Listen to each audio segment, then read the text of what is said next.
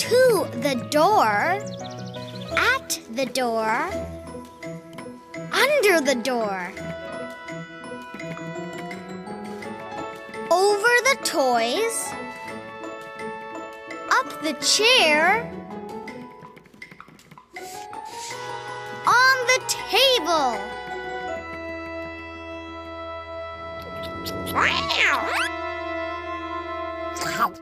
Off the table. Off the chair. On the floor. Over the toys. Under the door.